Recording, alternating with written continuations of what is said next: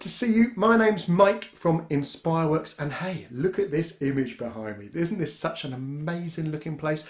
This is a place in Peru in South America, and it's a little town called Trujillo. Now, the reason why we got this image behind us today is because the music we're going to learn comes, the rhythm we're going to learn comes from this place. And the instrument we're going to learn is called the cajon. And you play this rhythm on the cajon. You play lots of other things on the cajon, but this we thought we'd teach you this rhythm as the first thing.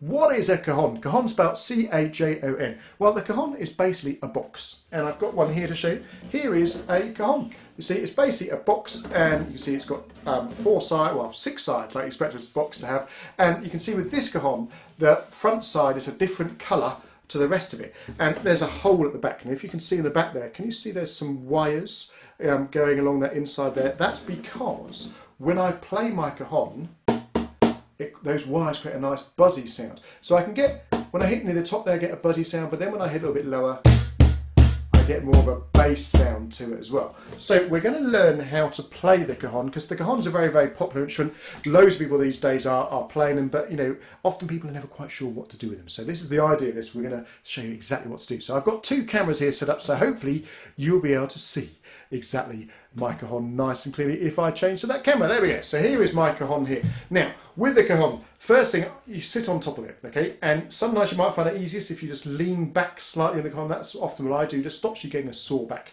So, a few different places. First one is along, see where I've got these black um, screws in here. I'm just going to put my fingers just slightly lower than that. And I'm going to play in that position. You can hear it. That creates a nice sort of buzzy sound. Now, we might call that a tone kind of borrowed that name really from West African djembe playing. Okay, so there's my nice open tone sound.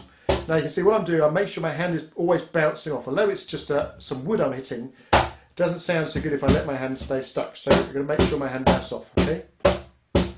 Okay, now the next sound is a bass. Now this is where often people make a mistake with a cajon with the bass, you need to maybe not reach as low down as you think. Some people reach really far down, and actually it doesn't sound so good. So on your cajon, you can kind of experiment around. So you get a nice bass sound. You see on my one, where the name, the logo um, of the people who made this cajon, and this is a Spanish cajon, this one, that is there. There we go. So that is the best bass sound I'm going to get. So let's just play some bass notes, bass, bass. And again, you see what I'm doing, I'm trying to make sure my hands, although they're alternating, I'm always hitting the same place. So I'm not hitting sideways like that, I'm trying to hit that same place, that bass, one hand after the other, to get the nice bass sound. Okay, should we do some tone? Ah, sounds completely different. One, two, three, four, bass. Swap the tone after four. One, two, three, four, two. And. Great, so here we've got different sounds. Now we also have a louder sound, or a higher pitch sound, which kind of is a, a sometimes they call it a slap sound. Now, depending on your cajon, it works in different places. Some people kind of move slightly more towards the corners to get that. You see, that sounds different to there.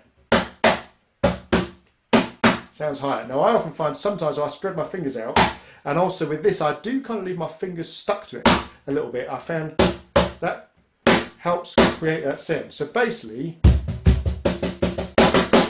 I should be able to get three different cajon sounds. So can we do what I just did, but really slowly? We're going to do four bass, four tone, then four slap. Should we try it? A one, two, three, bass, bass, tone, slap, tone, slap, tone, slap, yeah, tone, slap, tone, slap, tone, slap.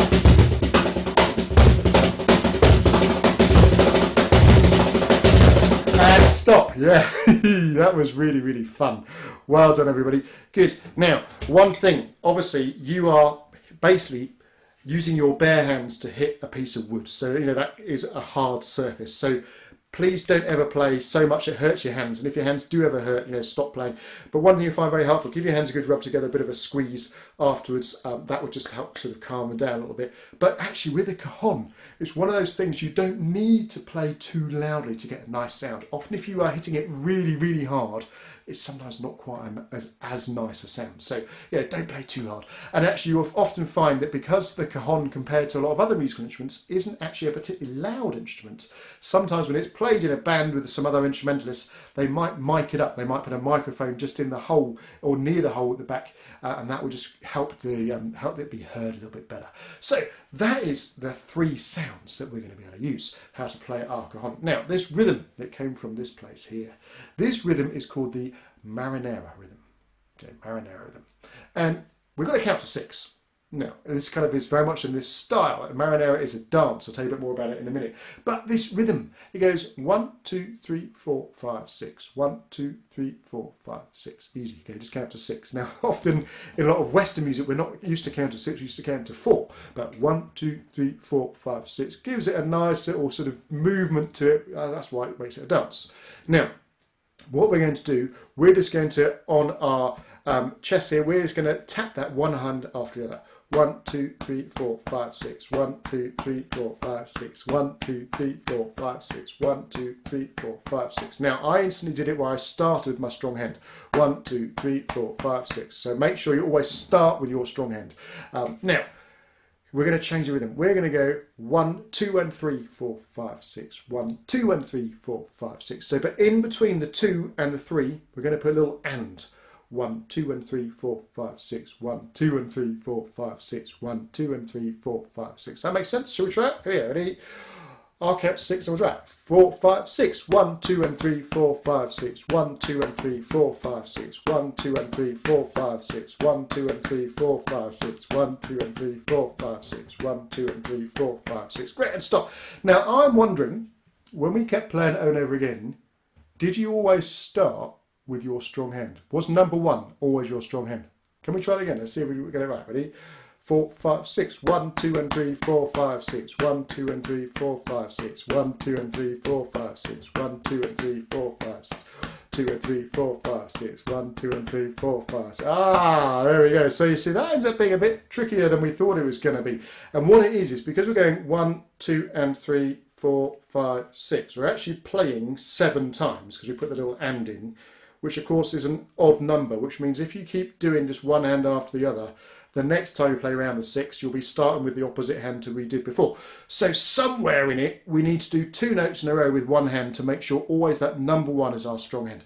How are we going to do that? Well, let's make sure the number one and the number two is our strong hand. So it's going to be one, two. Okay? And then the and is there. So I'm going to do it really slowly. One, two, and. That makes sense?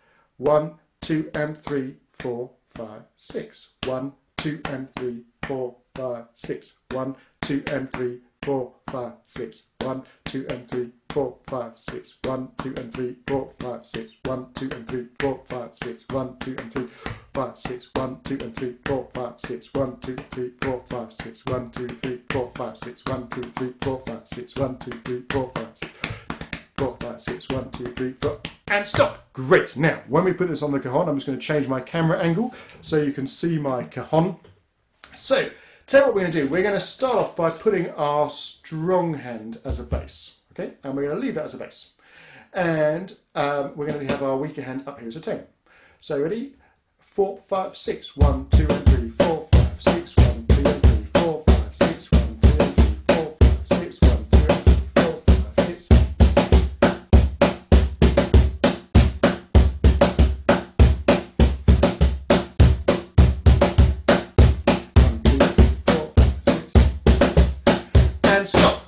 Now, one thing we're going to change.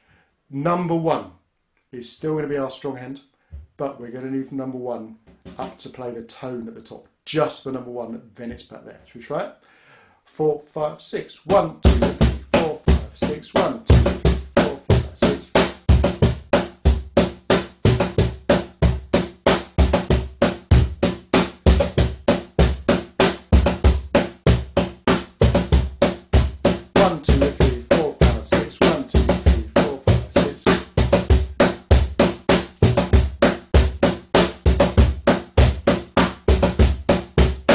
done. Now the only thing we're going to do is we're going to make sure that number one, rather than being a tone, it's going to be a, a slap. So it's a louder sound. Should we try it? Four, five, six, one, two, three, four, five, six, one, two.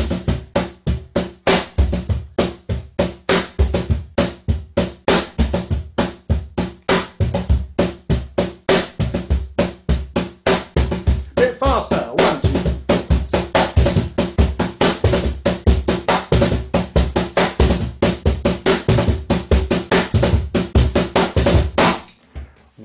Done. Great. So that is our marinera rhythm from Peru. It's a courtship dance. So that means it's a dance of love where maybe there'll be a man and a woman who would to be playing it and, and dancing that to, with each other as well. So you've learned that rhythm. So there's lots of other things you can do on the cajon. Please come back another time and you can see some more things we can do. Thanks so much. Bye.